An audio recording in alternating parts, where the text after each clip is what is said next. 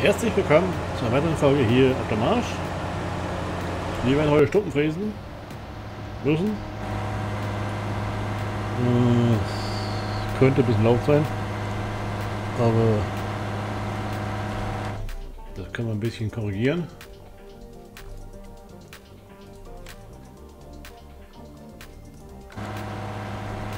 So, Stoppenfräsen heißt für mich, äh, wir müssen anfangen und zwar äh, von der linken Seite, da wo im Prinzip äh, im nächsten Jahr wiederum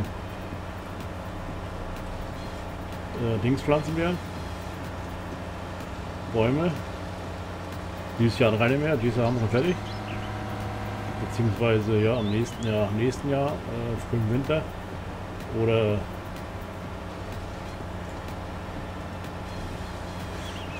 kommt dann ja einen Tag an oder ein, zwei Tage, so ist ja egal, Hauptsache wir pflanzen die halt äh, in Jahresabständen und dann haben wir immer genügend äh, genügend Holz äh, zur Verfügung. Wir brauchen uns keinen teuren Wald kaufen, ne?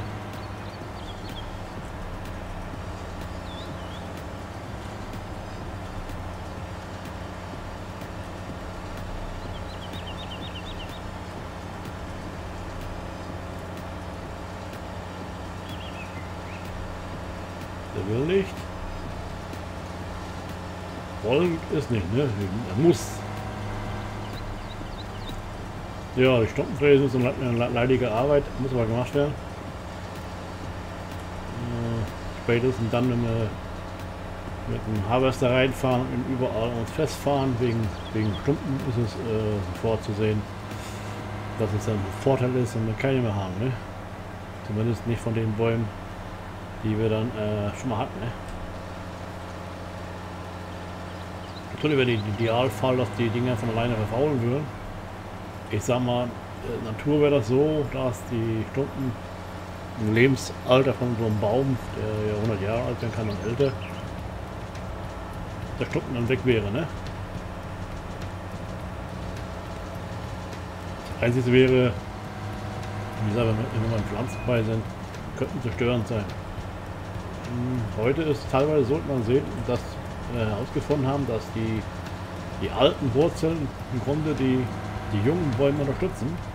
Das heißt, die jungen Bäume werden über die alten Wurzeln mitversorgt. An Nährstoffen und so, also und äh, die nur nach und nach äh, absterben. Natürlich die eigene Rasse, natürlich, also die eigene Rasse, die eigene Baumartprinzip, ne, natürlich keine Fremden. Die äh, stützen sich gegenseitig. Hat man nur nachgewiesen. Und dass sie mit Pilzen in Symbiose eingehen und somit ihren äh, Radius erweitern wegen äh, Nahrungsaufnahme, also Wasser und Nährstoffe. Im Gegenzug werden die Pilze versorgt. Ne? Also beide haben was davon.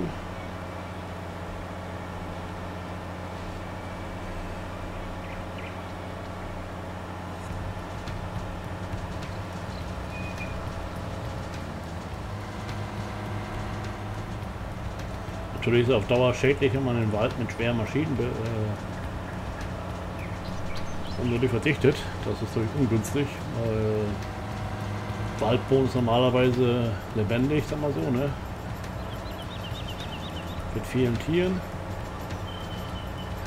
Tiere den Wald dienen und Tiere den Wald schädigen. Aber wie gesagt, es gibt ja immer das Gleichgewicht der Natur.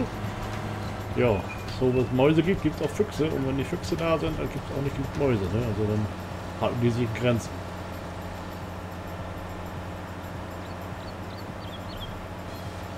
Oder andere Tiere halt, die da sind. Ne? Also das ist ja äh, immer ein Gleichgewicht normalerweise.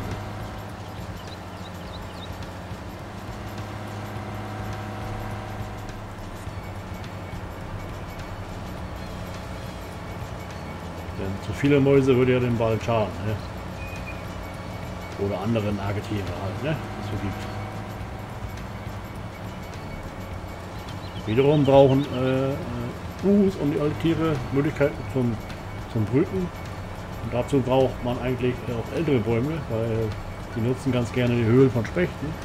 Und Spechte äh, wiederum brauchen äh, ja, äh, Larven etc., die ganz gerne in toten Bäumen wachsen, also Lehm. Ne? Und, und äh, der Specht äh, kann halt äh, in diesen Bäumen halt äh, leichter äh, seine Höhlen bauen. Ne?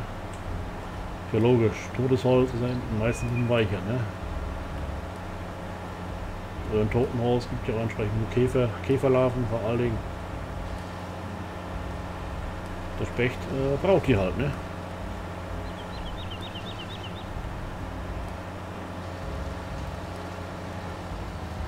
Und so wäre es auch mit den Borkenkäfern nicht ganz so gefährlich, in Anführungszeichen, wenn äh, der Natur auch den, den Specht den Lebensraum lassen würde, aber nur junge Bäume da sind, dann hat der Specht keinen Lebensraum und somit äh,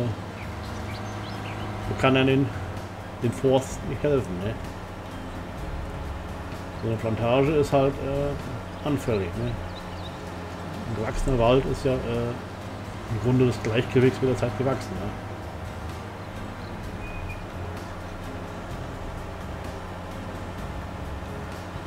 Und wenn du viel Futter hast, dann hast du auch viele Raubtiere, ne?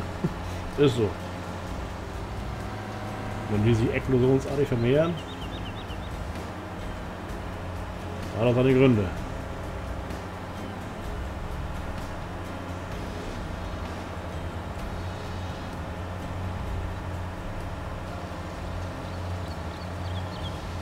Schöne Stunden, ne? ja, da wird eine schöne Folge, denk mal so mit Stunden machen, ja. Aber das ist halt, das gehört dazu. Ja, eine 16-fach-Karte wäre das ein bisschen, ne? Viel. Obwohl, ein 16-fach wäre auch machbar, man muss halt irgendwie in Maschine arbeiten. Ne? Das ist zur gleichen Zeit machen Ne? Man muss viel mehr mit Kursplay arbeiten. Aber ich werde keine 16-fach anfangen. Ich bin mit, mit beiden Karten ausgelastet. Ich werde auch nicht umziehen. Äh, ich sag mal, alle hat seine Vor- und Nachteile und das wollen wir halt äh, ausreizen.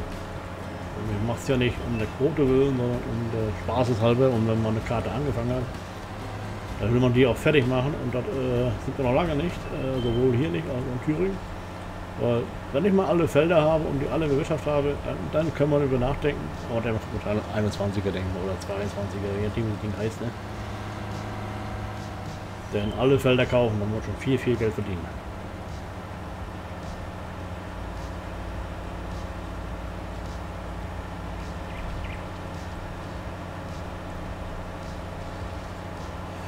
Und dann läuft auch die Produktion erstmal hier in Fleißig. Ne? Also das ist... Äh,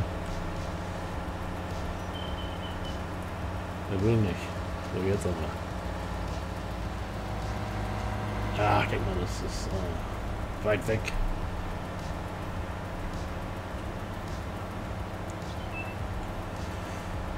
Hier werden wir die Karte schön ausreizen. Ja, da war eine Reihe Pflanzenbäume, wa?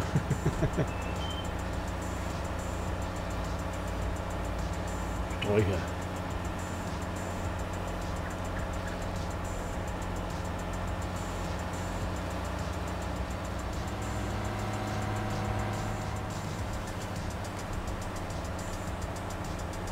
Tut schon der Arm weh.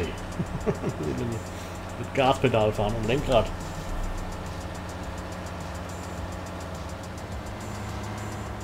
Ja, das ist ein bisschen eintönig, ne? Also das ist sehr, sehr ja, langweilig, sagen wir so, ne? Aber wir können auch mal die, die Geschwindigkeit auf. Das Radio war nicht gut. Na gut, in, den Augenblick vielleicht nicht, aber ich wollte auf 5 hochgehen. Wenn die Radio und LS hören, gibt Probleme mit der Rechte wenn er jetzt äh, wird eigentlich äh, ermahnt und man wird eigentlich äh, angeboten, die Musik rauszufiltern. Ne? Das machen sie einem schon, ne? Da haben die ja Erfahrung mit. Aber nach Möglichkeit keine Rechtsverletzung der Musik. Meckert die GEMA. Wo das eigentlich normalerweise für die Werbung wäre, ne? Genau genommen. So, haben wir jetzt die Ecke gesäubert. Die Ecke wäre gesäubert. So, vorne die Ecke. Aber, ah, da ist einer. Na gut, wenn einer mal liegen bleiben würde, wäre auch nicht kein Thema, ne? Das wird uns nicht umbringen.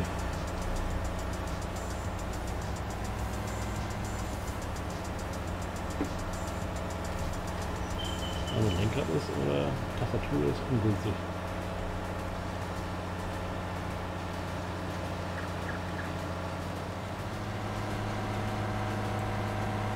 So, dürfte hier alles ledig sein, ne? Da oben ist eh alles weg.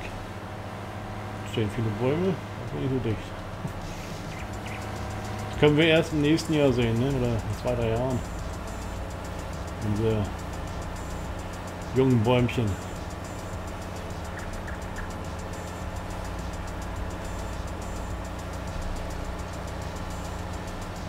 Ich habe mal gesehen, wie sie im Prinzip die, die Tannenzapfen ernten und dann äh, die Bäume züchten, also das richtige Aufwand. Das heißt, jetzt geht es in große Höhe und dann werden die äh, ja, gepflückt werden die nicht, aber klappt doch. Oder wenn geschüttelt, keine Ahnung, jedenfalls fallen die alle runter und dann werden die entweder oben gesammelt oder unten gepflückt. Ich genau. Jedenfalls äh, nachts mal so Sendung im Fernsehen. Also luftige Höhe, muss nicht schüttelfrei sein. Ich glaube, die haben sie eigentlich haben sie gepflückt. Also Zapfen bekommen sie einfach nicht. Normalerweise pflanzen sie ja über vom Wind getragen, diese Arme. Ich habe draußen bei mir im Terrasse auch ab und zu mal so ein Ding zu liegen. So ein Baum, aber Ahornbaum. Und also junge Bäumchen sehe ich ab und zu mal. Muss ich aber rechtzeitig rausreißen, sonst äh, die kriegst du nicht mehr weg. Also nicht mehr gut, ne?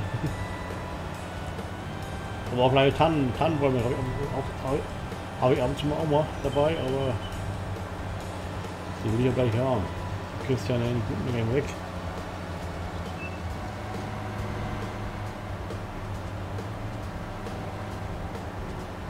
Und Engerlinge in der Erde, das habe ich auch. Also wenn ich im Frühjahr jetzt die Pflanzen einpflanze nachher und dann muss ich vorher die, die Erde im Prinzip äh, kurz anschauen und dann die ganzen Engerlinge raussammeln. Und äh, gehen die Pflanzen ein. Ne? Das vertragen die nicht, wenn es zu viele sind.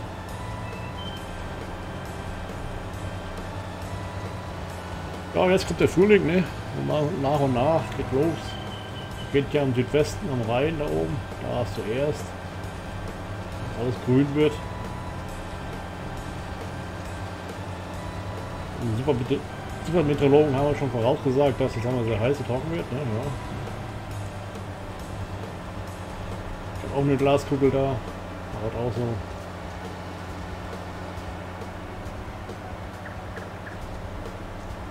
Wenn einer sagen würde, es kommt Hochwasser, dann würde ich sagen, okay, da kann man schon sagen, okay, da hast du mächtig äh, ja, Risiko, dass nicht eintrifft, ne? Aber. Aber. Jetzt zu sagen, dass es äh, sehr heiß wird und sehr warm wird, ja, gut, ist keine Kunst, ne? Bei der heutigen Lage.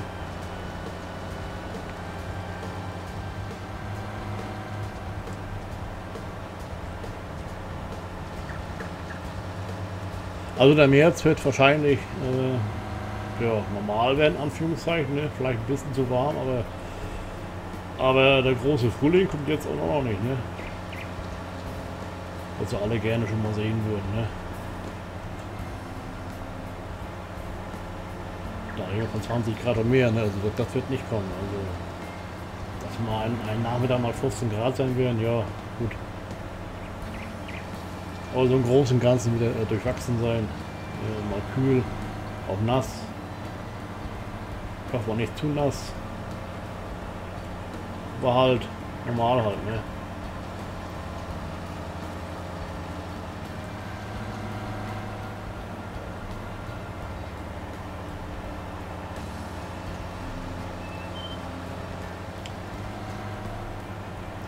Bauern werden sich freuen, wenn es jetzt trocken ist und nicht zu nass ist. das ist ja beides für die schlecht. Ist zu nass, können sie nicht auf Acker, ist es zu trocken, wächst nichts. Ne? Das ist ja immer das äh, berühmte ja, Gleichgewicht. Ne?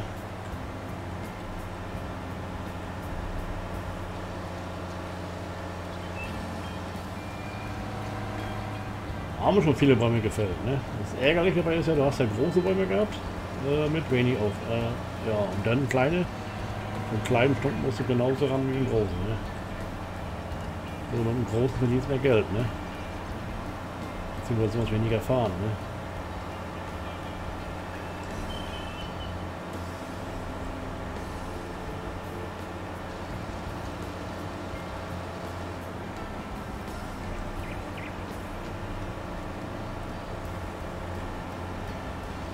Ja, jetzt gehen wir langsam äh, hinter zum zweiten Tag, ne, 16 Uhr, wird dunkel.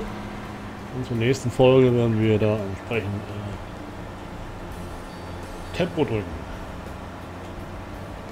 Wir haben zwar noch einige vor, Bäume vor uns, aber alle werden wir nicht machen.